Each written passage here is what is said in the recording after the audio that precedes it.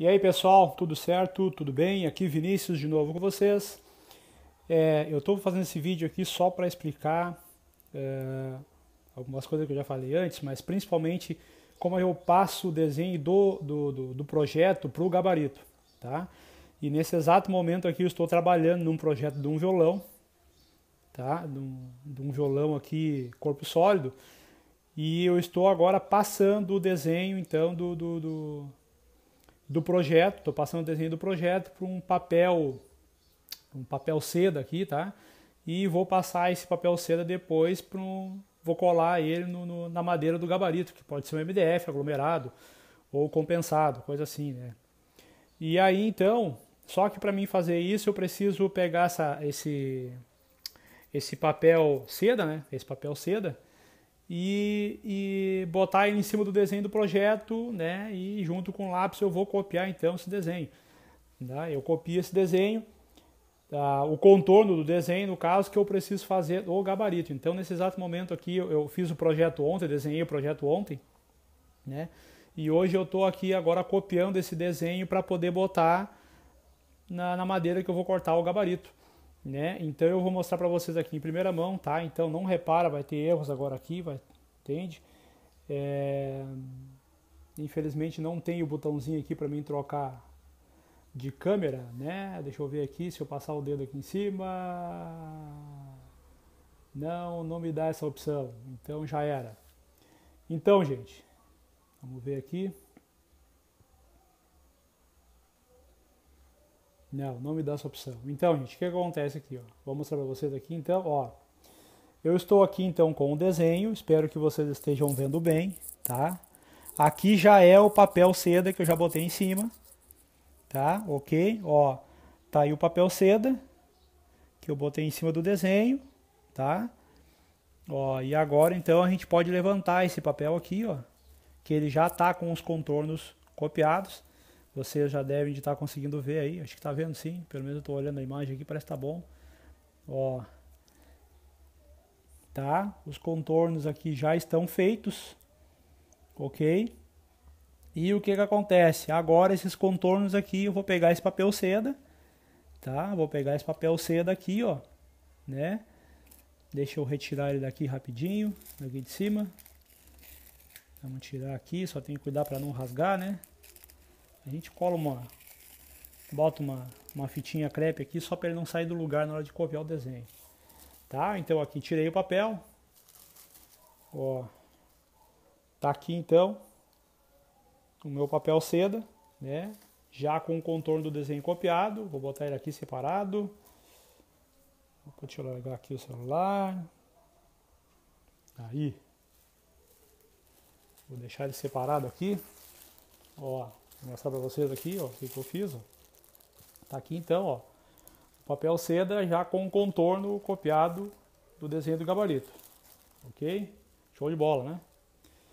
Deixa eu separar ele aqui. Vamos dobrar ele aqui um pouquinho. Não repara que o vídeo ao vivo não vai ter edição, porque eu tô com o meu iPhone aqui e ele não, não me deu a opção aqui de eu poder pausar o vídeo e isso aqui vai ir direto depois para o YouTube, tá? Eu não vou fazer nada de edição. É, agora aqui eu tenho o desenho do meu braço. Deixa eu levantar ele aqui. Também tá tudo colado com crepe aqui. Isso aqui é ao vivo, tá? Ó, não tem frescura. Tudo coladinho com a fita crepe aqui já. Por que, que a gente coloca a fita crepe? A fita crepe serve para ele não correr depois em cima do, do, do projeto aqui que a gente fez. Tá? Isso aqui para quem desenha em casa. Existe outra forma de fazer isso aqui mais fácil? Tem, tem. Você pode baixar o projeto, né, que você fez aí de algum lugar, baixa o projeto, tá?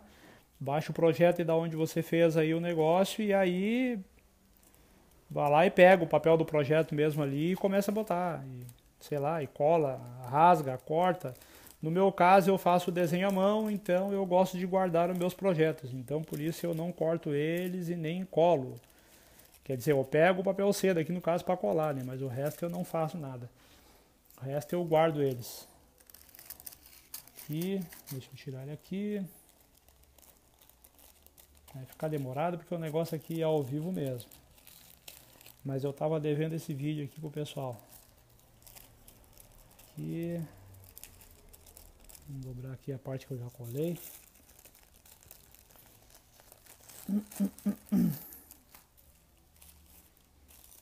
Aqui.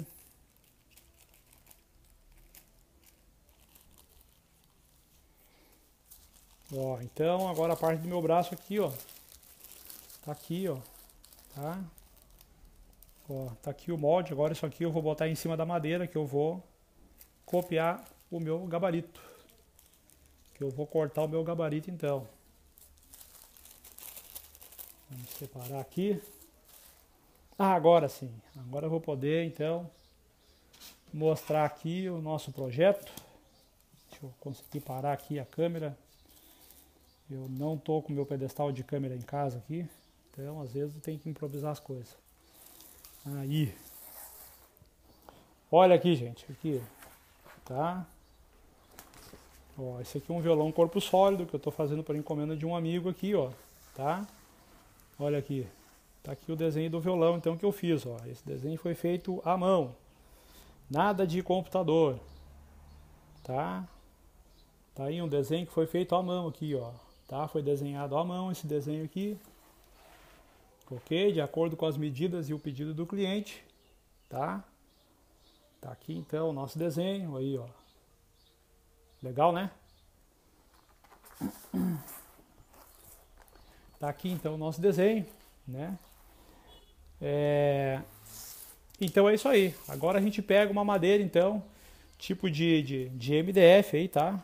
Uma madeira tipo de MDF uh, compensado ao aglomerado e a gente então vai fazer, vai colar esse, esse papel aqui então em cima da, dessa madeira e vai cortar o gabarito, tá?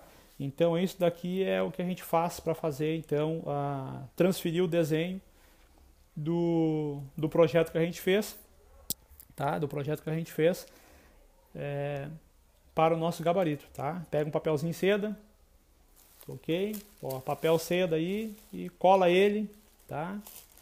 Papel seda. Pega papel seda aí, ó.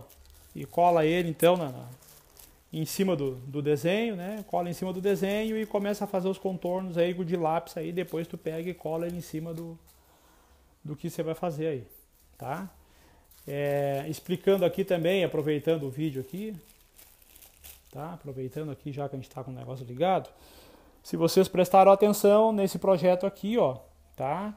Eu já fiz aqui, botei todas as medidas que eu precisava botar, tá? Ó, aonde vai cada botão, é, a ponte, ok?